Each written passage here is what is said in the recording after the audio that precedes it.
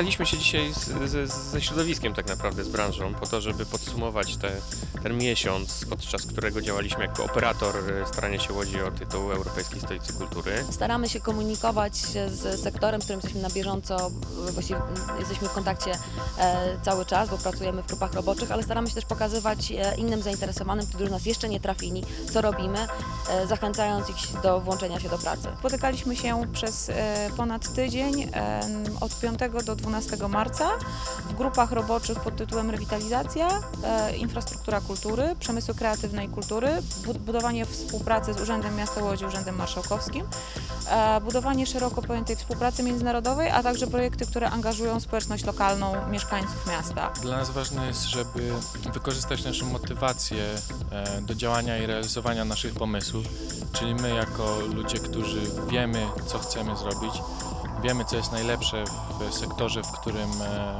jesteśmy aktywni, żebyśmy mieli możliwości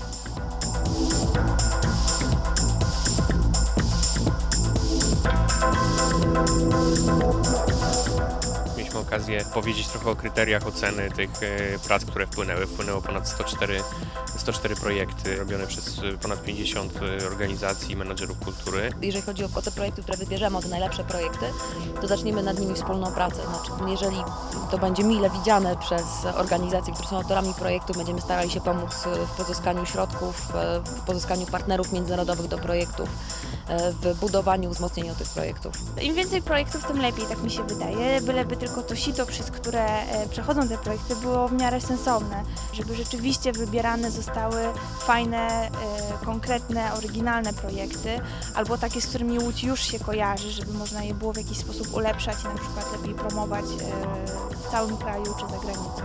Dzisiejsze spotkanie miało tak naprawdę dla nas charakter kluczowy, bo cały projekt Europejskiej Stolicy Kultury, pomimo to, że jest bardzo szeroki i dotyczy nie tylko kultury, ale jest to projekt społeczno-gospodarczy, ale jakby trzonem jest tutaj kultura i środowisko kultury, e, animatorzy kultury i to oni przede wszystkim muszą uwierzyć e, w projekt i oni muszą e, jakby napełnić ten projekt treścią. Muszą stworzyć projekty, które będą projektami flagowymi Europejskiej Stolicy Kultury. Rozpoczęliśmy pracę bardzo szybko i cała nasza działalność jest bardzo intensywna. Staramy się przede wszystkim skupiać na współpracy ze środowiskiem, nie podejmować żadnych e, decyzji autonomicznych i jak najbardziej wychodzić do ludzi. Na pewno trzeba coś robić, jak będziemy stać i czekać, aż e, tytuł sam do nas e, przypłynie, to, to nie przypłynie.